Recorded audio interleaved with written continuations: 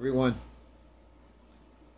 Today I would like to talk to you about vaccines, racing pigeon vaccines. I think more research should be done in this area. Vaccines have eliminated polio, chickenpox, the list goes on and on. Smallpox, for our racing pigeons, we've had a pretty good success with PMV, a dead virus vaccine.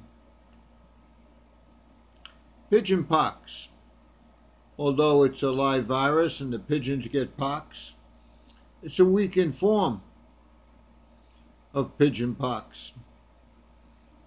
They get over it, they're done in about three weeks, and they have immunity for life.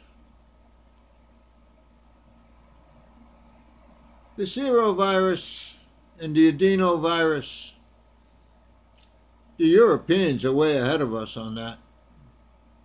At least in America, way ahead of America. They're already working on it. I think it's out and they're having some pretty good success.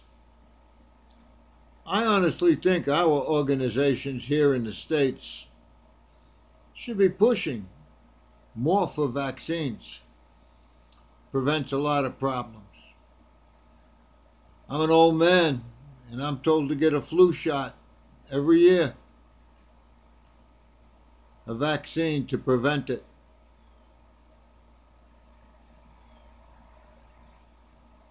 More and more research is going really into vaccines. But for us, us pigeon flyers, I think it's paramount especially when it comes to the circovirus and the adenovirus and PMV.